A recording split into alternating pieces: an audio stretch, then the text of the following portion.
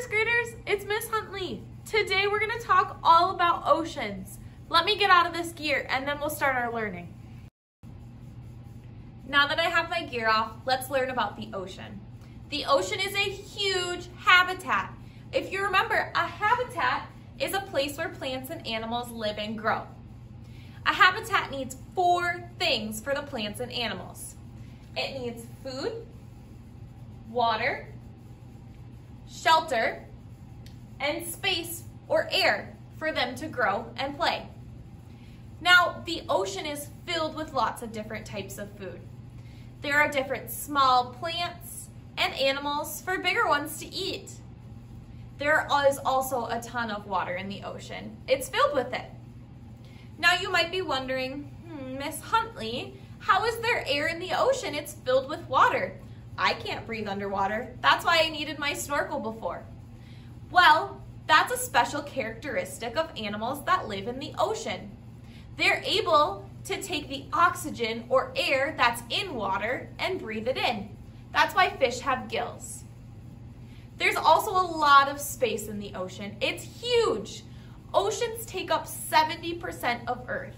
That's way over half of Earth filled with oceans. That's why it's one of the biggest habitats. Finally, there are lots of different shelters in the ocean. Some small animals use plants as their shelter. They might hide in coral or even seaweed. Other bigger animals might use underwater caves or rocks to hide. Now, like I said, the ocean is huge. There are millions of different animals that live there.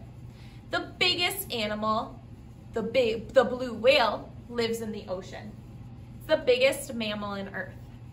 The smallest animals also live in the ocean. There's something called zooplankton that lives in the ocean where you need a microscope to be able to see. It's pretty cool. Now, the ocean is so big that there are a lot of different smaller habitats within it.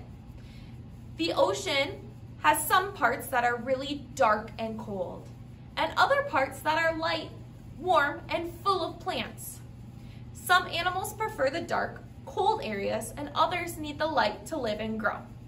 Let's talk about some of these different habitats. Coral reefs are one of the habitats in the ocean. Coral reefs are in shallow, tropical, or warm waters. Coral reefs are home to many of our favorite ocean animals like seahorses, sea turtles, and even clownfish and other tropical fish. A lot of what you saw in Finding Nemo was a coral reef. Coral reefs are made of coral, which are actually alive. Coral is made up of something called polyps, which are actually a relative of jellyfish. Lots of different animals use coral for their shelter to hide from their predators.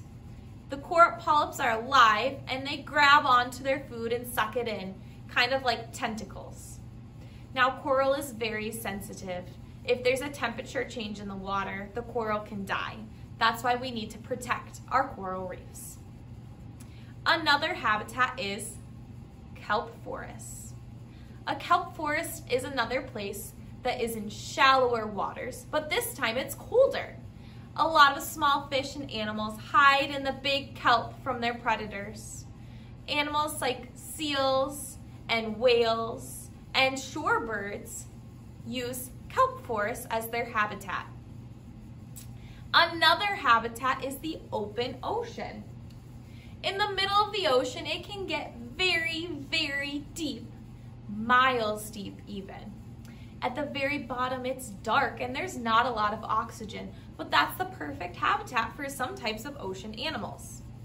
Other really big animals live in the open ocean it gives them more space to swim around as there's miles and miles of open space with nothing in the way. These are just three types of ocean habitats, but there are more. Your next activity is to listen to a read aloud book. This book is going to tell us about more animals that live in the ocean, that call it their habitat. When you're done reading, you'll go to the next slide. On that slide, it says ocean at the top and there's a blank picture of water. On there, your job is to draw five animals that live in the ocean.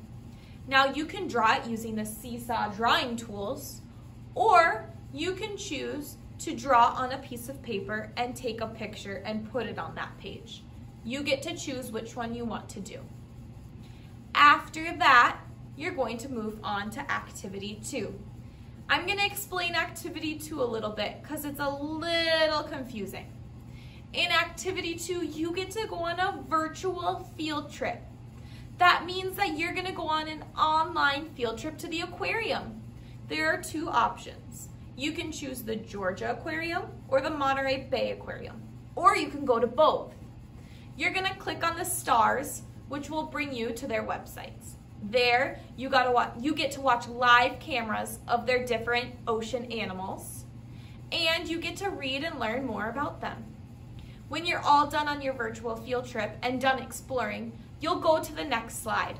On that slide, it'll tell you to tell your teacher, using the microphone tool, two facts that you learned today. I can't wait to hear more of what you learned.